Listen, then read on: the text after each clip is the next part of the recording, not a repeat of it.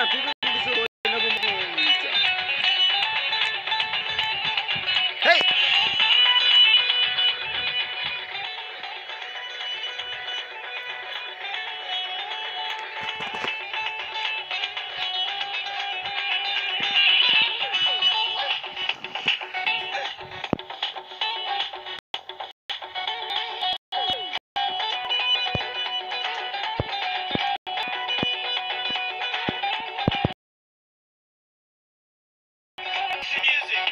geçti.